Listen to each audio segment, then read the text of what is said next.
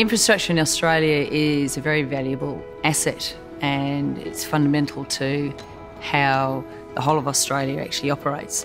So at the moment, the infrastructure in Australia is ageing. Um, we've also got some fantastic new assets, but there's also a lot of ageing infrastructure. The state government has a massive infrastructure program um, at the moment, and it, it's about building new infrastructure but also making better use of our existing infrastructure. And a level crossing removal does both of those things. Um, and so, in this case, the, the new elevated structure that was going over the level crossings needed to be fabricated and put into place uh, in a very short space of time during the occupation of the rail.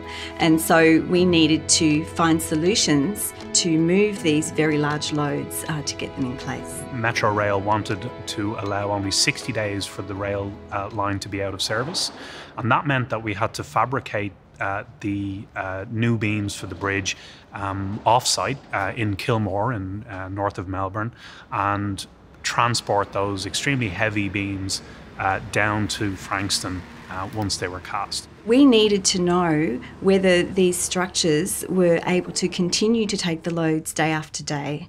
Um, we were moving them overnight, and we needed to know by midday the next day whether or not the next load was good to go. This project was very special because it involved heavy loads, it involved multiple movements of these heavy loads.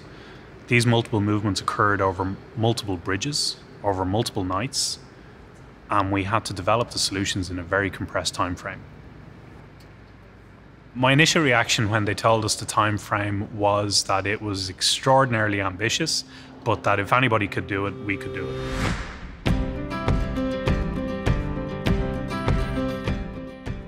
In the Department of Civil Engineering from academics, postgraduate students, administrative staff, technical staff in the laboratory. We have the complete package. We are a one stop shop for structural health monitoring.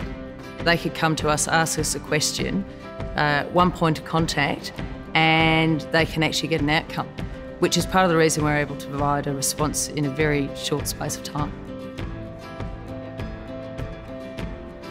We had to install systems that didn't interfere with any traffic flow underneath or on top of the bridges, uh, and this limited our options greatly. Um, once we had installed the systems, we then had to provide real-time monitoring information to VicRoads as the load traversed the bridge each evening, and then we had to provide daily reports by noon the following day showing that the movements of the bridges were acceptable we had to trust that advice. And because of the established relationship and because we knew who we were dealing with, we knew that we could trust that advice.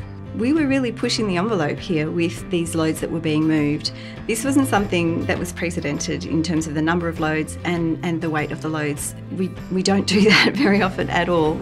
And so for us to be able to do that, the partnership with Monash was really critical. What we achieved was demonstrating that the bridges could carry those heavy loads without any damage. The Level Crossing Removal Authority has delivered their project, but at the same time, our structures we know are sound and able to continue to carry their loads in the future.